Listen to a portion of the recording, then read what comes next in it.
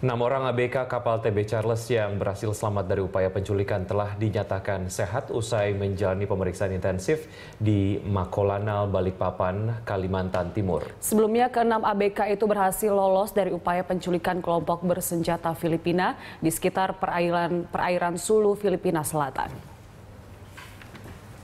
Kenam ABK kapal TB Charles yang selamat yakni Andi Wahyu sebagai mualim 2, Syahril sebagai masinis 4, Albertus Temu Selamat sebagai juru mudi, Redgar Frederick sebagai juru mudi, Rudi Kurniawan sebagai juru mudi dan Agung Saputra sebagai juru masak kapal.